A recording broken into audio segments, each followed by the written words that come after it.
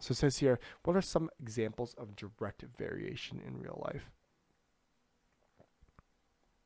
So what are some examples of direct variation? What are some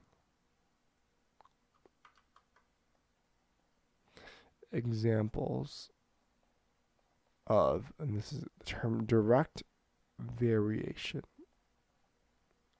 in real life. So, what are some direct examples, or some examples of direct variation in real life? So, what would, so let's define this term first. What does direct variation mean?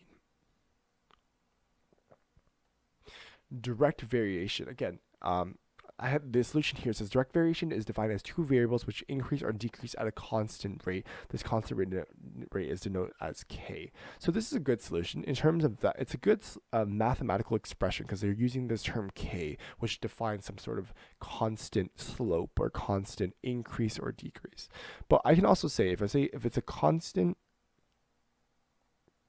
constant increase or constant rate of increase of increase or decrease. And they denote it as as this k term. Then actually, this is really ugly. Let me uh, uh, decrease. So what I can also say is I can also say that these two terms are proportional, right? They're proportional to each other, right? So again, constant rate of increase and decrease, again, just means that I'm increasing something at a constant rate or I'm decreasing something at a constant rate. So what would that what would that mean in terms of a real life? What does that mean in real life? So uh, they used, uh, I'm going to see what example here. So it says here, they used uh, examples of variation life, motorcycle with x covers distance y an hour, speed is increased and distance will be more in the same amount of time, right? So again, using this uh, example of I live in I live in uh, I live Ontario in Toronto. So in terms of uh, kilometers per hour, so I can say that if you're driving 60 kilometers per hour, um, it's saying that in one in one hour,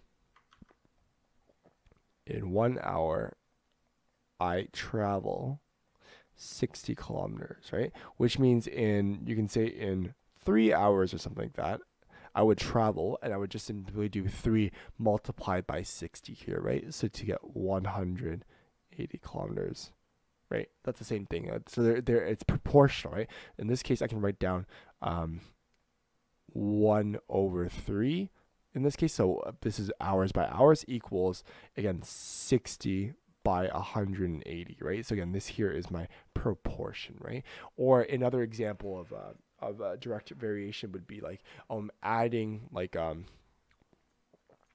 let's say uh one cup of water of water per um uh, one kilogram of flour or something like that flour. So if I want to make, if I had three cups or let's say five cups of water, of water, sorry, my writing is really bad, then I would have five cup, five or five kilograms of flour, right? So again, it's very, it, they're directly these here are directly directly directly variated or directly proportional, right? Because I got this factor one one and five is I'm multiplying the, the thing by five. Same here, I'm multiplying each side by five. In this case, I was multiplying each side by three and this side by three, right? So again, these things are directly uh, they're proportional, but they're also uh, directly they have direct variation.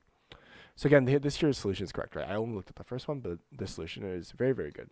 So uh, since we were some examples, and they gave an example here. I'm going to say perfect solution and analysis.